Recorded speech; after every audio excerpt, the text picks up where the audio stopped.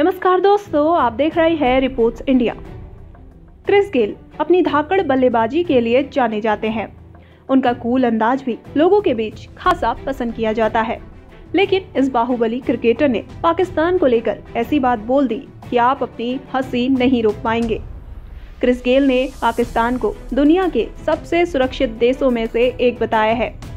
गेल ने मीरपुर में संवाददाताओं से कहा, पाकिस्तान दुनिया में सबसे सुरक्षित स्थानों में से एक है। पाकिस्तान का कहना है कि वो खिलाड़ियों को राष्ट्रपति स्तर की सुरक्षा देंगे, जिससे आप सुरक्षित हाथों में है। मेरा मतलब है कि हम बांग्लादेश में भी अच्छे हाथों में है। अब आप सोचेंगे कि ये भला कैसे हो सकता है? तो जनाब, वो क्रिस गेल हैं। कुछ भी बोल सकते हैं, और बोलने के पैसे थोड़े ही लगते हैं। Do, uh, Chris, uh, do you think Pakistan is a safe country for cricket? Yeah, they say it's, um, Pakistan is one of the safest place right now in the world. You know, so yes, they say you get presidential security, so you're in good hands.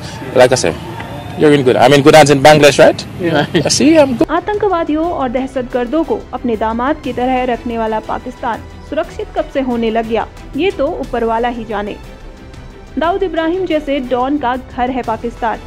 ऐसी जगह पर Chris Gayle खुद को सुरक्षित मानते हैं तो उनकी हिम्मत की दाद देनी होगी। गेल इस वक्त बांग्लादेश में है और बांग्लादेश प्रीमियर लीग, बीपीएल में चट्टोग्राम चैलेंजर्स की तरफ़ से खेल रहे हैं। आपको बता दें कि साल 2009 में पाकिस्तान गई श्रीलंका की क्रिकेट टीम पर हमला हुआ था, जिसके बाद यहाँ दूसरे देश की टीमों ने क्रिकेट खेलने से मना कर दिया था। हाल ही में, पिछले दस सालों में, श्रीलंका पहली ऐसी टीम बनी जिसने टेस्ट सीरीज़ के लिए पाकिस्तान का दौरा किया। पाकिस्तान में टेस्ट सीरीज़ के दौरान पाकिस्तान क्रिकेट बोर्ड पीसीबी के अध्यक्ष एहसान मानी ने कहा था कि पाकिस्तान सुरक्षित है। मानी ने कहा, हमने साबित कर दिया कि पाकिस्तान सुरक्षित है। अगर कोई यहाँ आना नहीं चाहता तो उनको साबित करना चाहिए कि ये असुरक्षित क्यों है? मौजूदा हालात में पाकिस्तान के मुकाबले भारत में सुरक्षा का मामला ज़्यादा गंभीर है। एहसान मानी ने आगे कहा, पाकिस्तान में श्रीलंका के सफल दौरे के बाद सुरक्षा को लेकर किसी को भी संदेह नहीं होना चाहिए। ये पाकिस्तान में टेस्ट क्रिकेट की बहाली के लिहाज से बड़ा कदम साबित हुआ। पूरे विश्व में पाकिस्तान की छवि सुधारने में मीडिया और दर्शकों की मुख्य भूमिका रहेगी।